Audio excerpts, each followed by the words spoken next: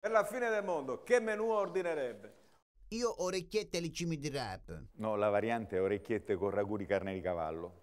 Qual è l'iniziativa politica più importante che lei ha realizzato? Beh, quando contro il precariato sulla spiaggia di Ostuni ho organizzato la lettura di Montale mentre dei Pierrot piangevano alla luna e a chiudere un concerto degli Intillimani.